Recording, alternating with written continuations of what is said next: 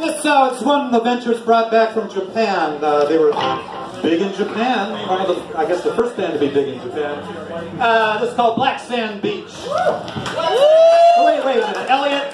Can you tell us who, who Elliot? Can you tell us who wrote Black Sand Beach? Yuzo Kayama. Aha! There he is.